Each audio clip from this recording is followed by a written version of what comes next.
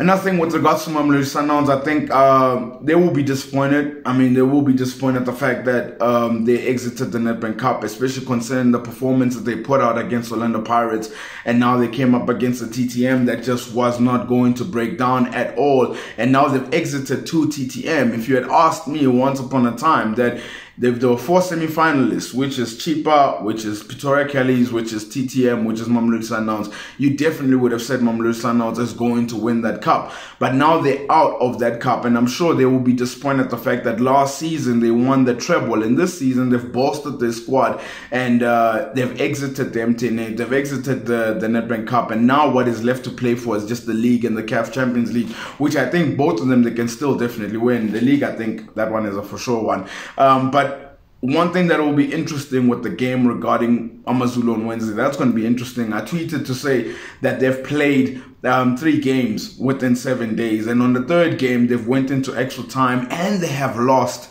as well that game and they go up against Amazulu. And I know there's a lot of people that are saying, yeah, but Mamelodi Sundowns have a big squad. That's why they bought so many players. True, I can't argue with you with regards to that. But when you're playing an Amazulu side that's in that form, you want your best players to be on that pitch. And the likes of Themba Zwane, who've played a lot of minutes as well, does he rest him? Who've played Shalulile as well, who played the whole game today. You know what happens then? You want your best players on the pitch, and those best players have played a lot of football in the last seven days. So fatigue could definitely creep in. Do they have players that they definitely can replace them with? Without a shadow of a doubt. But I think Amazulu and Ben McCarthy will be looking at this and saying we have to outrun them. We definitely have to outrun Mamelodi Sundowns because even in this game against Tshakhuma, you could just see towards the in, into the second half and even into extra time, you could just see a very leggy uh, Mamelodi Sundowns. So I think Amazulu and Ben McCarthy will probably be looking at this and saying this is an opportunity for three points. And I can tell you now that game on Wednesday is gonna be absolutely massive.